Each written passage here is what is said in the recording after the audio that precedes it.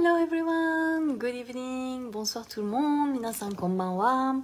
How are you feeling today? Today I wanted to come live and um,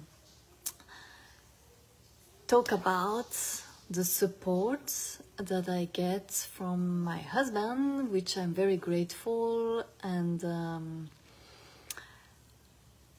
what I realize is when we live abroad, since we are only us, the couple and uh, the children, it's very important to have this solidarity and mutual support and mutual also um, gratitude from one another. And this afternoon, so actually this morning, I was uh, in charge of the of our daughters while he had time to play tennis. And this afternoon it was the other way around. So he was with our daughters and i had time with my friend. We went for a manicure pedicure. It was wonderful. And I am so thankful for his support. He's thankful for my support, and I realize it's really a teamwork. I really am happy when he has time for himself, when he has time to play tennis or to do surfing, because he needs that, and also he is happy when I'm having fun, when I'm spending time with my friends, when I'm having some time for self-care and i really realized that it's very it's it's mutual um, support. And i'm so i just wanted to say thank you to my hubby.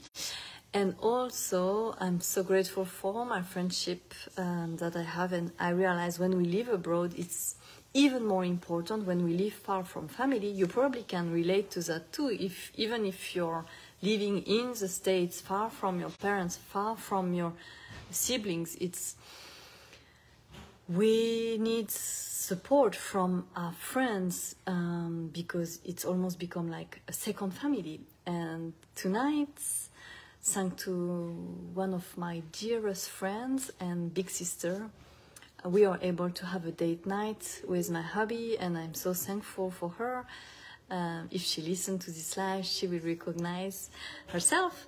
But i'm so thankful and you know when we live i used to live in my um, city in france in the suburb of paris. When i was wanted to go out and have a date night i just needed to pick up my phone and ask my parents can you hey can you look after your granddaughters? And it was very easy uh, or my my sister we all live very close to one another and since we live abroad from seven years ago it's a different story. Like we at the beginning we barely went out uh, for date night and uh, or we would hire a babysitter but it's additional expenses so it, it's more rare than it used to be in france. And so when my friend she is offering her gift of time to spend time with my daughter and uh, i'm so thankful and um, so i wanted to do this live to to share that it is very when we live abroad it's even more important to have the support from hubby because we need to be solid do we need solidarity to support one another. Thank you for the heart. Merci merci stephanie so it's when you live abroad it's even more important to have this support from hubby because it's really a teamwork. We are both of us teaming to support the children and it's we are in our cocoon. Oui j'arrive.